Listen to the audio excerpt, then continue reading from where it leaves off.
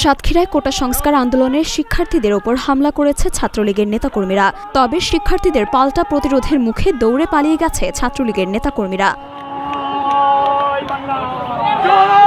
বুধবার দুপুর সাড়ে বারোটার দিকে শহরের এসপি বাংলোর সামনে এই ঘটনা ঘটে। এতে এক শিক্ষার্থী আহত হন। সরেজমিনে দেখা গেছে, আইন শৃঙ্খলা বাহিনীর সদস্যরা যে কোনো ধরনের অপ্রীতিকর ঘটনা এড়াতে বেশ তৎপর ছিল। ছাত্রলীগের হামলা চালানোর সময় তাদের বাধা দিতে দেখা যায়। তবে ছাত্রলীগের নেতাকর্মীরা সেটি না শুনে অতর্কিত হামলার ঘটনায় জড়িয়ে পড়ে।